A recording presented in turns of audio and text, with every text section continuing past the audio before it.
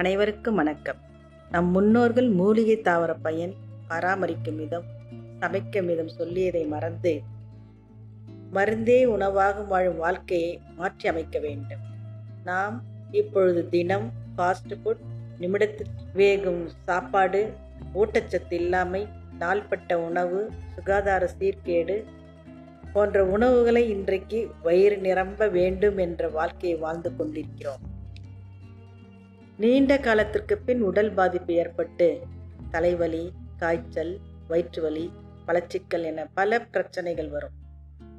வந்தால் உடனே ஒரு வழி நிவாரண மருந்து.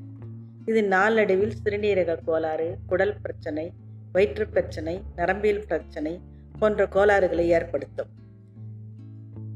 வந்த பின்னர் யோசிப்பதை விட்டு வருமுன் காக்க வேண்டும். இதற்காக அம்மா தாவர மூலிகை சேனல் மூலம் தாவர பயன் தாவர பாதுகாப்பு பற்றி பார்ப்போமா?